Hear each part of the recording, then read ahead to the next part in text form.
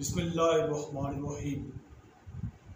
नाजरीन, homeopathic awareness और आगाही के सिलसिले में जो मेरे लेक्चर का सिलसिला है, उसमें आज के लेक्चर का उनवान है कि ये कौन सी ऐसी चीज़ें हैं खाने पीने की स्पेशली कि जो जब होम्योपैथिक इलाज करा रहा हूँ तो उसमें परहेज़ करना ज़रूरी है।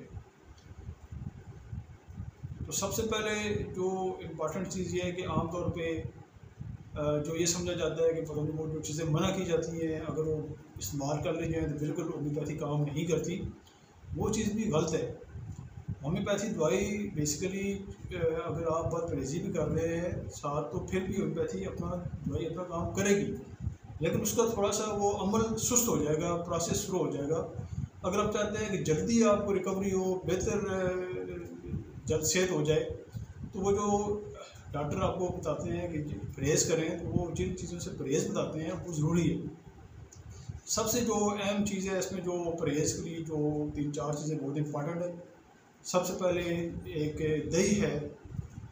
दही या दही से बनी कोई भी चीज़, जैसे लस्सी होगी कड़ी होगी तो वो ठीक नहीं है। क्योंकि दही जब दौड़ने इलाज इस्तेमाल करेंगे तो वो कई दफ़ा कई ऐसी प्रॉब्लम्स होती हैं, जैसे आपको गला ख़राब है या कुछ जिसम में दर्द है तो वो इसको ये इजाफ़ा करती है, इसको ठीक नहीं करती। तो इसलिए एक तो बल्कि सेवेंटी परसेंट कई चीज़ों में दही एग्रीवेशन करती है। एक तो दही का इस्तेमाल नहीं करना, दूसरा एक और जो सबसे इंपॉर्टेंट कुछ लोगों को कॉफ़ी की आदत होती है।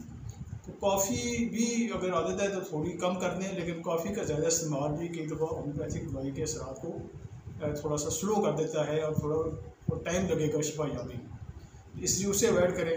उसके अलावा जनरली जिस तरह कोई भी तरीका इलाज है बेसिकली जिस तरह चार हो गया या ज़्यादा तेज़ मिर्च मसाले हो गए तो या बहुत ज़्यादा ठंडी चीज़ या बहुत ज़्यादा गर्म चीज़ तो इस तरह की चीज़ों से अवॉइड करना ज़रूरी है। ये आज मकसद था थोड़ा सा आपको ये आगाही दी दूँ कि इलाज के साथ जो परहेज़ बताई जाती है, वो बड़ी इंपॉर्टेंट है, उसका ख्याल रखना ज़रूरी है।